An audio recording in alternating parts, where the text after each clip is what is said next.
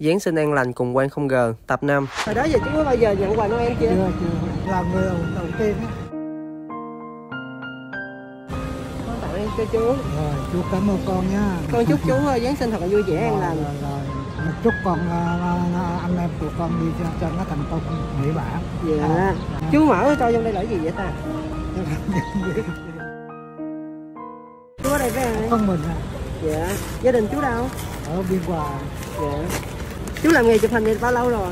gần hai chục năm Dạ Có bữa nào mà không có người chụp cho chú không? có chứ Có hả chú? à, Chú buồn không?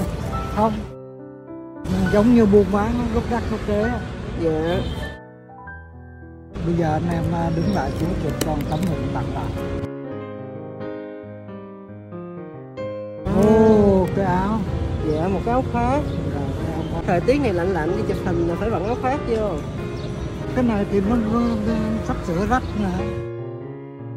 Dạ Ủa cũng may là nó sắp sửa rách. Trời ơi vừa hết luôn.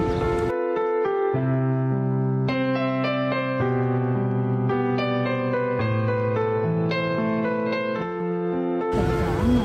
Rồi tình cảm đây có nhận Còn cái này là con biếu chú.